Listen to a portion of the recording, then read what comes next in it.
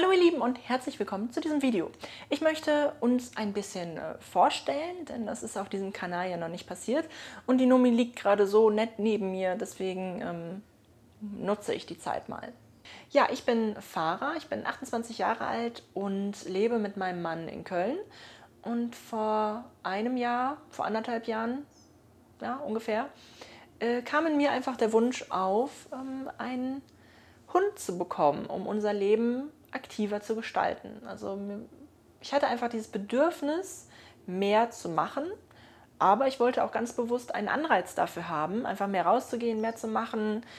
Ach, ja, ich hatte einfach Lust, einfach Bock auf einen Hund und habe mir das sehr, sehr gewünscht und ich konnte trotz der vielen Kontrapunkte meinen Mann auch ähm, für diese Leidenschaft entfachen, sodass wir uns dann tatsächlich dazu entschlossen haben, einen Hund zu, zu uns zu nehmen, zu unserer Familie. Und so begab ich mich auf die Suche nach Züchtern und wir fanden Nomi. Ja, wie schon gesagt, das ist Nomi. Sie ist eine Havaneser Dame von 4,2 Kilo im Moment und einer Schulterhöhe von 24 Zentimeter. Das heißt, sie ist eine ganz schön kleine Maus ähm, und sie ist jetzt ein Jahr und ein paar Monate alt. Ein Jahr und zwei Monate ungefähr, ich weiß gar nicht ganz genau. Ähm, sie wurde im Juni geboren, letzten Jahres. Und sie ist seit Oktober letzten Jahres bei uns.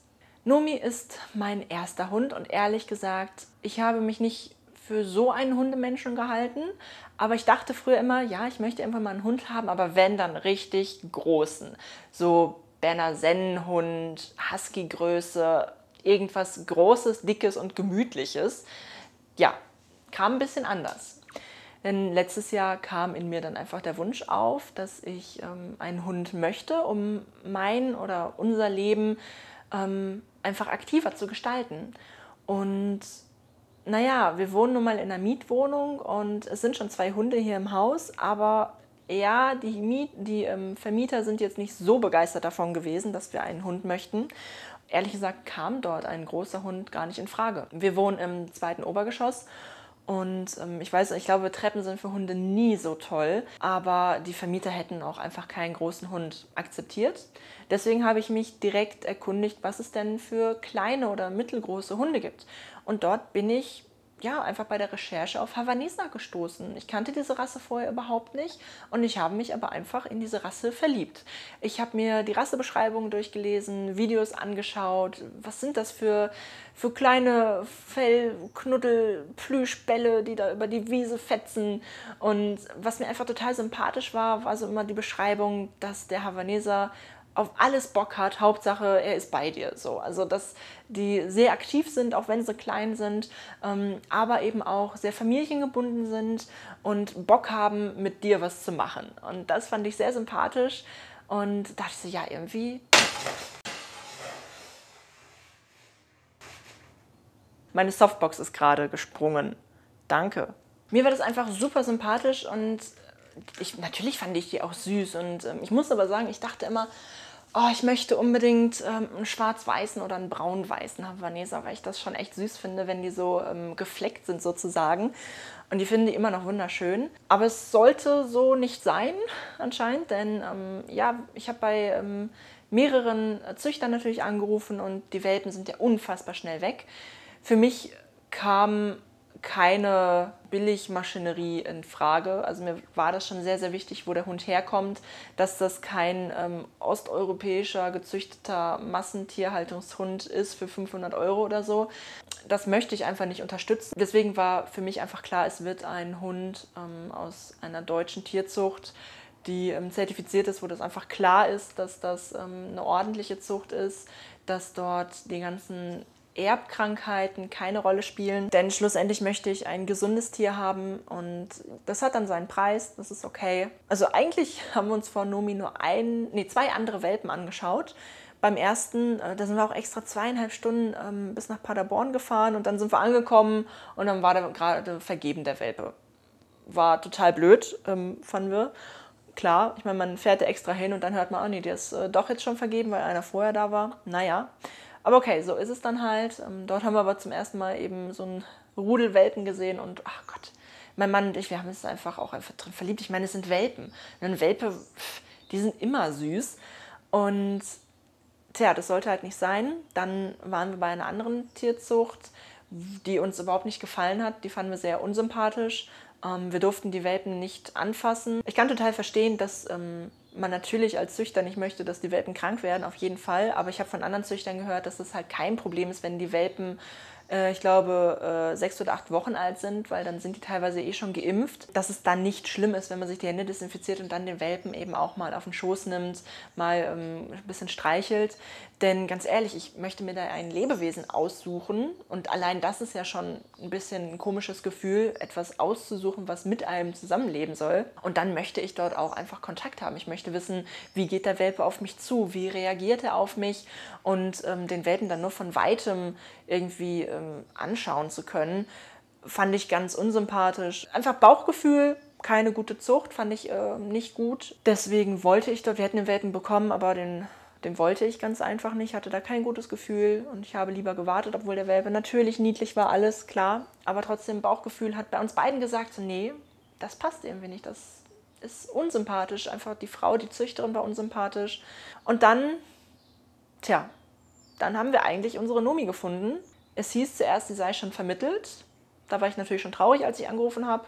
Nee, ist leider weg. Und dann, ich glaube, zwei Tage später rief, rief die Züchterin doch nochmal an und hat gesagt, nee, die ist doch wieder da. Schlussendlich ist es zwar ein kleines Problem, dass sie schon mal vermittelt war, denn sie hat schlechte Erfahrungen gemacht, dort, wo sie hingekommen ist, was natürlich für einen Welpen in der Entwicklungsphase, in der Prägezeit schlecht ist. Das heißt, Nomi ist daher eher ängstlich veranlagt bei Tieren und äh, also ja grundsätzlich bei Tieren, natürlich auch bei Hunden und auch bei anderen Menschen. Sie ist eher vorsichtig, sie ist eher passiv. Aber gut, das ist halt dann jetzt so, ne? Weil wir sind da hingefahren, war auch zweieinhalb Stunden Fahrt, glaube ich. Es, also es klingt super kitschig, ich weiß, aber ähm, da waren noch zwei, drei andere Welpen aus dem Wurf. Ich habe sie hochgenommen, so, ich meine, anderthalb Kilo waren das, ne? So hochgenommen und habe sie angeguckt und mein Bauch und mein Herz haben sofort gesagt, das ist mein Hund. Das klingt super kitschig, ich weiß. Aber es war tatsächlich so und ähm, wir bereuen das überhaupt nicht, auch wenn das natürlich so ein paar Probleme mit sich bringt, wenn du einen ängstlichen Hund hast. Du musst einfach ein bisschen mehr darauf Acht geben und du musst ihn mehr an so etwas heranführen, an fremde Dinge. Ja, sie passt super gut zu uns. Was, was soll ich sonst sagen? Eigentlich war es dann auch eine Harakiri-Aktion so ein bisschen, denn ähm, ich habe die Züchterin gefragt, ob sie das okay finden würde, wenn wir Nomi jetzt einfach an dem Abend mitnehmen würden. Denn die Konsequenz wäre nur gewesen, wir wären nach Hause gefahren, wir wären am nächsten Tag morgens wieder hingefahren und hätten sie abgeholt. Ähm, und das wären dann ähm, ja nochmal vier Stunden Fahrt gewesen insgesamt. Wenn die Züchterin jetzt gesagt hätte, nee, das ist mir jetzt einfach viel zu kurzfristig, hätte ich gesagt, okay, dann kommen wir halt morgen wieder. Hätte ich auch gemacht. Sie hat uns dann auch so weit vertraut, dass äh, wir Nomi schon am selben Abend dann äh, mitgenommen haben und auf einmal hatten wir einen Hund. Wir waren gar nicht so eben darauf vorbereitet. Aber ähm, durch das Welpenpaket, was wir mitbekommen haben, war sie ja auch erstmal versorgt. Das war jetzt nicht äh, schlimm oder so. Und ja, oh, dann hatten wir einen Hund. Und ah, klar ist das, ach, ich meine, der erste Hund und so ein niedlicher Welpe. Hallo?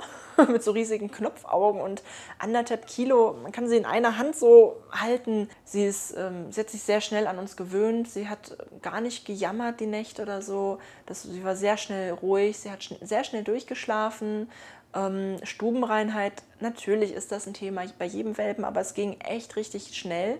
Ich habe mit Schlimmerem gerechnet. Ich glaube, so die ersten zwei Wochen, da musste man schon relativ früh mit ihr raus, also so um 5 Uhr morgens. Ähm, aber trotzdem, wir haben schon die Nacht durchschlafen können, was einfach super war. Seitdem, würde ich sagen, ist die kleine Maus doch schon recht gut erzogen, was mir sehr wichtig ist. Ähm, ich glaube, sie fühlt sich wohl bei uns. Wir haben ja noch einen Kater, mit dem läuft es so lala. Es wird, es wird langsam besser. Und ja, unser Leben hat sich absolut verändert durch sie. Das auf jeden Fall zum Positiven. Von anderen, ähm, die auch ihren Hund als Welpen bekommen haben, habe ich schon gehört, dass die so sagen, boah, nie wieder, nie wieder ein Welpe. Das war mir viel zu stressig, das möchte ich nicht nochmal. Bei mir ist es genau andersrum. Ich will auf jeden Fall noch einen Welpen, ich möchte auf jeden Fall noch einen Havaneser und irgendwann noch einen großen Hund. Das fände ich auch toll so ähm, klein und groß und nebeneinander, die dann zusammen Spaß haben. Das wäre auch echt schön.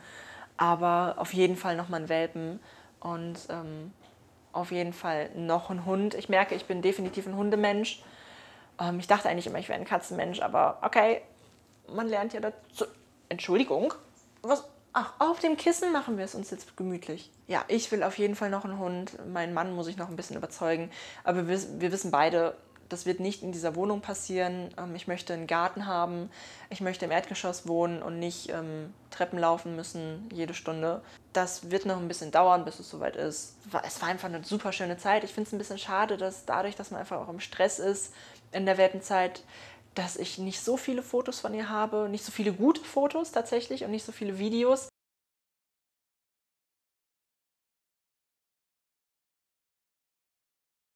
Wo man einfach erkennt, ähm, wie die Verhältnisse sind, wie klein sie war. Ich meine, sie ist ja jetzt immer noch klein, aber sie ist trotzdem von anderthalb Kilo auf 4,2 Kilo normal gewachsen. Das ist normal, das ist schon ein bisschen was. Also die war super klein und super süß, aber dadurch, dass sie so schwarz war und äh, inzwischen braun, aber trotzdem ist sie einfach schwer zu belichten. Und wenn du dann mit dem Handy ein Foto machst, dann ist das irgendwie nicht so dasselbe. Ähm, man kann sie da einfach nicht so gut drauf erkennen und das finde ich ein bisschen schade. Werde ich auf jeden Fall anders machen beim nächsten Welpen. Ich glaube, ich belasse es erstmal dabei, bevor das Video jetzt doch zu lang wird. So habt ihr ähm, Numi ein bisschen näher kennenlernen können und ähm, ich mache nochmal eine Einleitung.